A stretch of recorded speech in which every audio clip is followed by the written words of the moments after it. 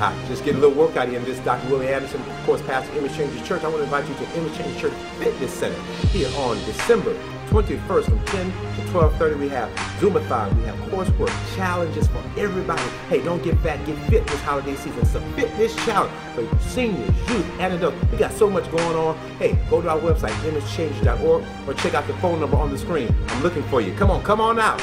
See you on December 21st.